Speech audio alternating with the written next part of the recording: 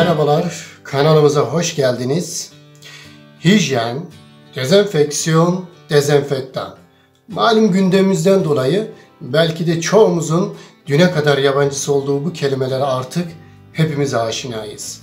Ve sanırım bu kelimelerle de yaşamayı öğreneceğiz. öğreneceğiz. Ve bu gündem bizim de elimizden tuttu ve adeta az sonra izleyeceğiniz bu önemli videonun kapısına dayandırdı. Evet, bu önemli videomuzda sizlere elektroliz yöntemiyle dezenfektan yapımını anlatacağız. Evde herkesin yapabileceği basitlikte hem çok etkili, hem rizikosuz ve hem de %100 yan etkisiz bir dezenfektan. Sizleri kimyasal bir takım teknik bilgilere boğmayacağız. Bu konuda içiniz rahat olsun. Olabildiğince sonuç odaklı ve pratik bir şekilde konumuzu anlatacağız. Fakat uygulamaya geçmeden önce bazı noktalara kısa kısa bilgilerle değinmemiz gerekiyor. Evet değerli izleyiciler, biz bu elektroliz yöntemiyle bir asit elde edeceğiz. Elde edeceğimiz bu asitin ismi hipokloroz asit. Hipokloroz asit. Hayır yani asit deyince sizi sakın korkutmasın. İnsan sağlığı açısından son derece zararsız bir asittir. Hipokloroz asidi aslında immün sistemimizde yani kendi bağışıklık sistemimiz tarafından üretilen çeşitli mikroplara, virüslere, bakterilere, mantarlara karşı savunma amaçlı üretilen bir asittir. Ve sodyum hipokloritte, sodyum hipoklorit nedir? Yani çamaşır suyu. Çamaşır suyundan yaklaşık 100 kat daha etkilidir. Ee, evet yanlış duymadınız. Evet çamaşır suyundan 100 kat daha etkili ama korkmayın çamaşır suyunun verdiği zararların hiçbirini vermez. Son derece masum ve zararsızdır. Uygulandığı alanlarda ajanları adeta sıfır dakikada yok ediyor. Çok çeşitli kullanım alanları var. El dezenfektaninden enfekte olmuş yaraların temizliğine, cilt temizliğinden makyaj temizliğine, zemin temizliğinden havuz suyu sterilizasyonuna kadar ve hatta meyve ve sebzelerin temizliğine kadar birçok alanda kullanılabilir. İşte biz de bu güçlü hipokloroz asitini elektroliz yöntemiyle elde edeceğiz. Bu dezenfektanın üretimini yapan hazır cihazlar da mevcut piyasada ama bunlar çok külfetli olur. Yani gidip piyasadan böyle bir cihaz almak yerine siz de kendi ev ortamı ve şartlarınızda çok kolaylıkla bu düzeneyi kurup hipokloroz asitini üretebilirsiniz. Uygulamaya geçmeden önce gelin hep birlikte şöyle malzemelerimize kısaca bir göz atalım. Malzemelerimiz e, belli bir miktar su, yani suyun miktarı size kalmış. Burada yaklaşık benim 750 mililitre suyum var. O suya oranla da tuz katacağım. Ee, yaklaşık her 250 mililitre suya e, 1 grama tekamül edecek derece tuz ilave edeceğim. Ee, anlaşıldığı üzere 750 mililitrelik suyuma da ben 1,5 tatlı kaşığı tuz ilave edeceğim. Yani bir tatlı kaşığı yaklaşık 2 grama geliyor. Ee, bir buçuk tatlı kaşığı da 750 e, mililitrelik suyuma kafi derecede gelecektir.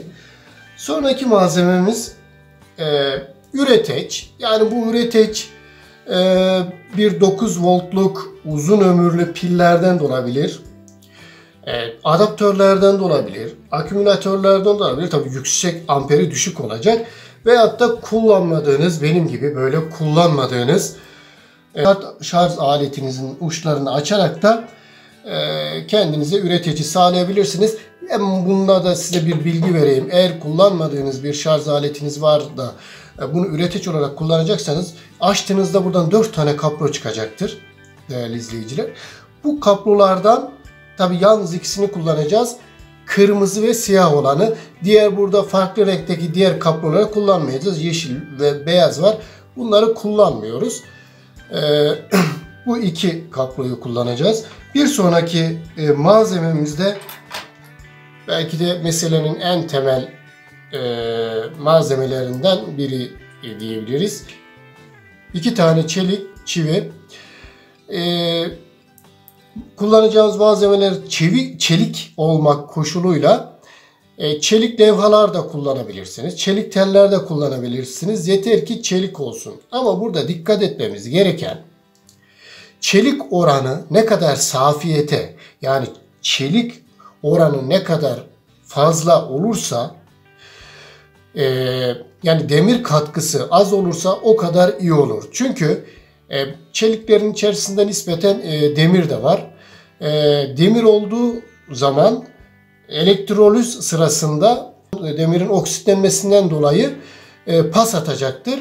Bunu asgari seviyede tutmamız için çeliğimizin halis çelik olmasına dikkat edelim. Arkadaşlar burada aslında ideal olan elektroliz yönteminde kullanabilecek ideal olan e, ideal olan titanyumdur. Fakat titanyum bulmak çok zor. O yüzden e, çelik çivilerle bu işi halledeceğiz. Sonraki diğer e, malzemelerimizde 2 adet mandal. Bu mandalları da sağlı sollu şeylerimizi kablolarımızı tutturmak için kullanacağız. Bunların artı olanına anot deniyor. Eksi kutba katot deniyor. Tabi biz burada hangisinin eksi artı olduğu çok da önemli değil. Ee, bunda bir sıkıntı olmaz. Şimdi hemen uygulamamıza geçelim. Evet arkadaşlar. Şimdi buradan ben böyle bir silme tatlı kaşığı alıyorum. Bu yaklaşık 2 grama tekamül ediyor. Bir yarım tatlı kaşığı daha aldım tuzumu ve şimdi karıştırıyorum.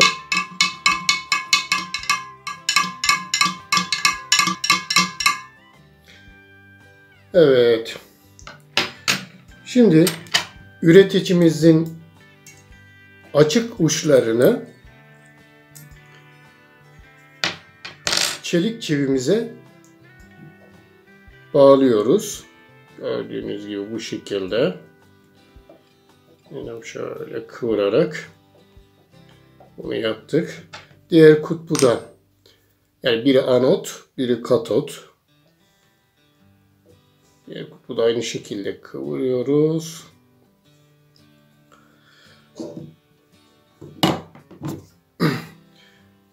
Bunu suyumuzun içerisine daldırıyoruz. Her birini teker teker yaparsak daha kolay olacak işimiz. Buradan birinci malzememizi tutturuyoruz. Sonra diğerini gördüğünüz gibi. Şimdi arkadaşlar elektriğimizi veriyoruz. Üreticimizi fişe taktık.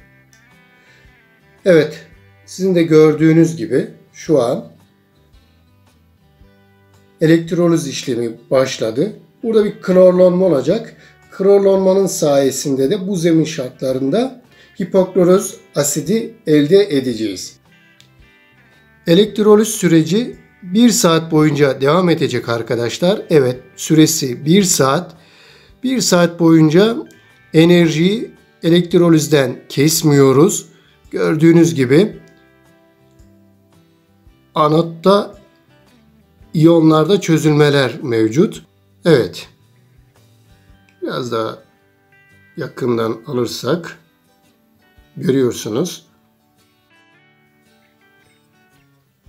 Beklerken e, bu süreçte ben size e, bazı e, bilgiler aktarmak istiyorum. Eğer suda sarı veyahut da yeşile çalan bir renk görürseniz bu demek oluyor ki kullandığınız çeliklerin içerisinde demir ihtivası var. Eğer e, başta dediğimiz gibi demir varsa, demir katkısı varsa oksitlenmeden dolayı suya pas atıyor. Ama ziyanı yok. Siz o pası ve o yeşil rengi bir peçete yardımıyla veyahut da başka bir e, süzgeçle süzüp yine aynı şekilde kullanabilirsiniz. Ama ideal olan başta da söylediğimiz gibi safi çelik olması piyasada bulabilirseniz o sizin için daha güzel olacaktır.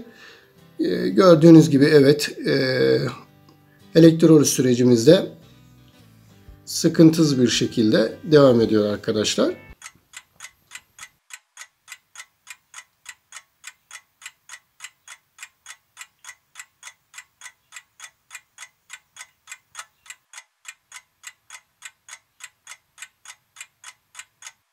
Evet arkadaşlar bir saat sonrasına baktığımız zaman elektroz işlemimiz neticelenmek üzere.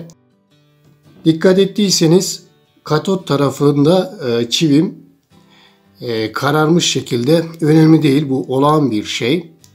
E, sıkıntılı bir durum yok. Videomuzu sonlandırmadan önce küçük bir hatırlatmada daha bulunalım. Bu arada gördüğünüz gibi suyumda da gördüğünüz gibi biraz yer yer sararmalar göreceksiniz. Bu da demek oluyor ki çivilerim safi çelik değil. Olsun siz safi çelik bulursanız daha e, güzel bir sonuç alırsınız. Ben de bunu süzmek suretiyle kullanabilirim. Aynı şekilde siz de süzmek suretiyle kullanabilirsiniz. Son olarak bir hatırlatmada daha bulunup videomu sonlandıracağım arkadaşlar. Dezenfektan suyunu 2-3 hafta boyunca kullanabilirsiniz. Yalnız e, güneş görmeyen bir yerde ve kabın içerisinde muhafaza etmek koşuluyla e, güneş görürse veyahut da muhafaza edilmezse e, etkisi, etki oranı azalacaktır. Evet gördüğünüz gibi dezenfektan sürecimizi sonlandırıyoruz. Güç kaynağımızı prizden çekiyoruz. Evet arkadaşlar umarım yardımcı olabilmişizdir. İşin e, teknik ve pratik tarafı bu şekilde. Dediğimiz gibi son derece zararsız ve bir o kadar da etkili bir e, dezenfektan yöntemi. Bu arada böyle e, sudan hafif böyle havuz kokusu gelir. Eline aldığınız zaman kokladığınız zaman biraz havuz kokusu hissedeceksiniz bu da hani o klorun etkisiyle yani hiçbir sakıncası yok. Güvenli bir şekilde kullanabilirsiniz. Başka bir videomuzda görüşmek dileğiyle. Hoşçakalın.